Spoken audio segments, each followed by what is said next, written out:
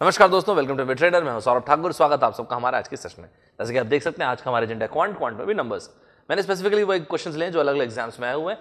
जैसे कि देखिए, आप सबसे पहला क्वेश्चन आरआरबी के 2014 के एग्ज़ाम में आया हुआ है। आरआरबी में आरआरबी जेई में पूछा हुआ क्वेश्चन है। आप देख सकते हैं यहाँ पे आरआरबी जेई 2014 ये क्वेश्चन मैंने नीचे डिस्प्ले करवा दिया।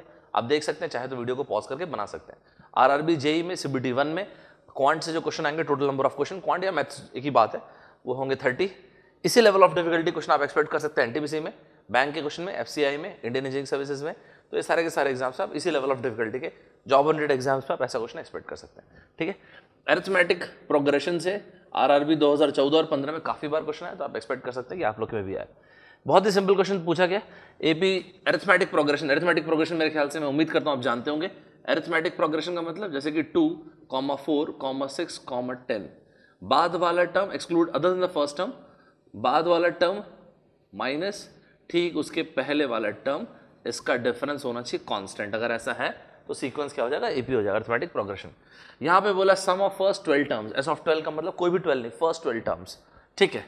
एकदम डायरेक्ट क्वेश्चन है ये तो S of N is equals to N by two A plus L A मतलब फ़र्स्ट टर्म एल मतलब लास्ट टर्म करेक्ट है? जो मैंने एग्ज़ाम्पल लिखा, अगर इसमें मैं ए देखूँगा तो ये हो जाएगा ए और ये हो जाएगा एल लास्ट टर्म तो हमसे पूछा गया है एस ऑफ़ ट्वेल्व बताइए।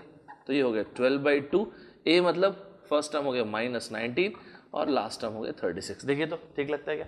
बिल्कुल एकदम करेक्ट है। This is twelve divide by two और ये कितना हो गया? सेवनटीन कट वट कर देंगे, बड़ी बात नहीं।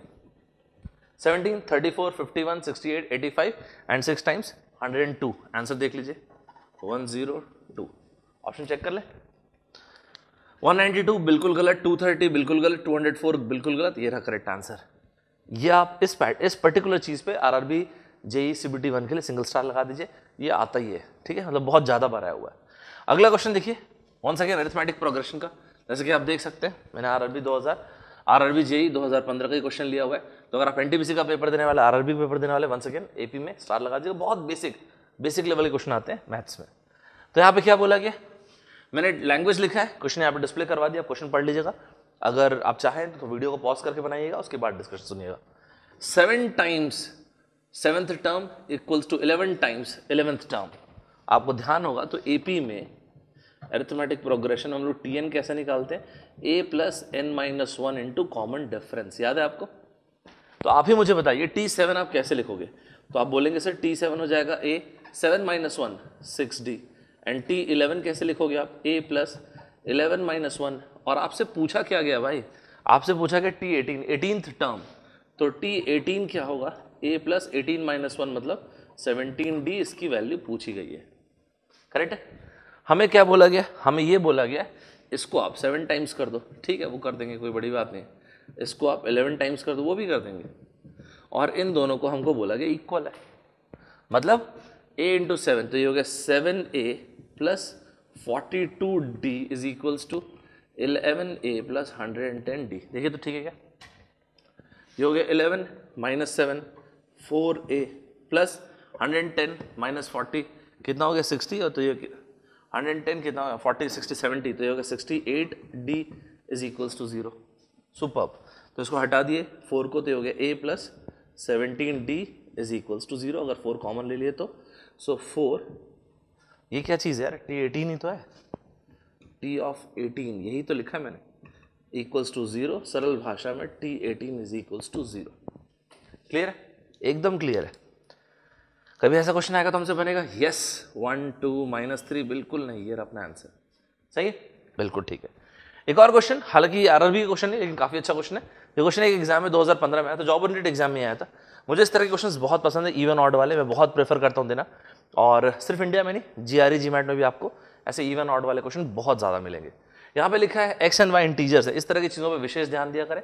इंटीजर्स बोल दिया मतलब zero plus minus one plus minus two and so on यहाँ पे बोला कि X square upon Y cube एक इवन इंटीजर है। देखिए, आप लोगों ना एक बार वीडियो को पॉज करके बनाना, फिर डिस्कशन सुनना। आप में से कुछ बच्चे जैसे इस लाइन को पढ़े होंगे ना कि X square upon Y cube even integer है तो वो लोग बच्चे ऐसा सोचे होंगे कि सर इवन अपॉन ऑड ये देगा एक इवन आउटकम और इसके अलावा इवन अपॉन इवन ये एक इवन आउटकम देगा। और सर, इस तरह से मैंने यहाँ पे पुट करके चेक कर लिया। कैसे चेक किए? सर ऐसे मान ले एक्स तो इवन है दोनों केसेस में। एक्स इवन हो गया। ये एक्स इवन माइनस या तो इवन या तो ऑड दोनों केस हो सकता है इसका। सर या तो फिर ये हो गया इवन ऑड कुछ भी तो इन दोनों का तो निश्चित नहीं है। सर मैंने इस तरह चेक किया। यहाँ पे ज़रूरी नहीं कि डिविजिबल भी हो, लेकिन क्योंकि एक्स यहाँ पे इवन है वाई कुछ भी हो आउटकम इवन आएगा। एंड सर हैंस मेरा आंसर डी है। सर मेरा अप्रोच ठीक है? यस ठीक है। लेकिन इतना टाइम कंज्यूम करने की ज़रूरत नहीं थी। सर मतलब इसको वापस लेके आओ। क्या लिखा हुआ एक्स स्क्वायर वाई क्यूब ये इवन है? यस हटाओ इसे।